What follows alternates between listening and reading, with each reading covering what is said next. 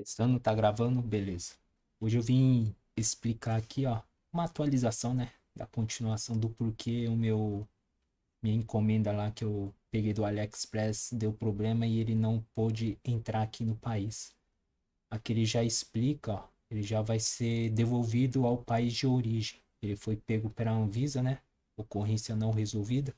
Aí eu peguei aqui esse texto que eles explicam da Anvisa e vou ler aqui, ó. Prezado senhor, sua importação não foi autorizada por tratar-se de dispositivo eletrônico para fumar, mais conhecido como cigarro eletrônico. A proibição da importação por parte da Anvisa ocorreu no estrito cumprimento da atividade de inspeção inspeção respaldada pela legislação sanitária vigente, que veta a importação deste desse tipo de produto conforme exposto a seguir. Esta lei, artigo, esta resolução estabelece proibições para importações de produtos sujeitos à vigilância sanitária, realizadas por pessoa física para uso próprio, por meio de quaisquer modalidades de importação, enquanto houver a situação declarada de pandemia relacionada ao novo coronavírus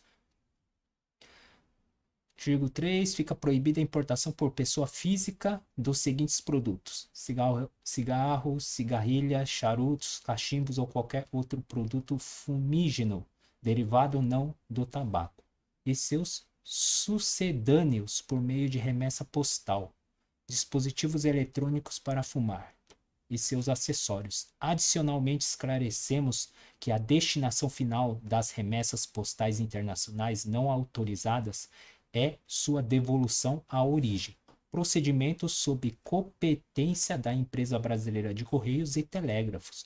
Esclarecimentos referentes a prazo de destinação final da remessa postal deverão ser solicitados diretamente à SCT pela Central de Atendimento dos Correios ou acessando um link e tal. Então, basicamente, o que está acontecendo é que não é que eles proibiram isso de entrar por alguma lei que eles criaram, não, é tá mais na cara por causa da doença, né? Da pandemia, essas coisas. Então, tanto isso como aparelhos de tatuagem, equipamentos médicos, essas coisas que você tem contato com o teu corpo, que nem eu tinha falado no vídeo anterior, eles não estão permitindo. Agora eu sei exatamente o porquê aconteceu isso também, né? Porque a gente está ainda com problemas de pandemia. Então, justamente por isso deu esse problema, né? Infelizmente, né?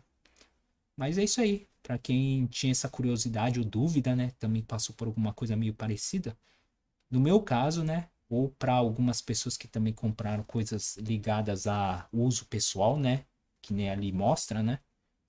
É, uso próprio, né? Ó, realizadas por pessoa física para uso próprio. Ele fala que é proibido, né? Ó. Ocorreu inspeção, não sei o quê, porque você vai usar isso, né, no teu corpo, que não tinha falado anteriormente. Então, por isso eles estão proibindo.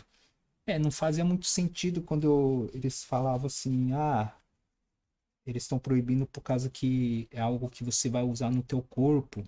Mas eu nem parei para pensar que era por causa da pandemia. E agora faz mais sentido, né?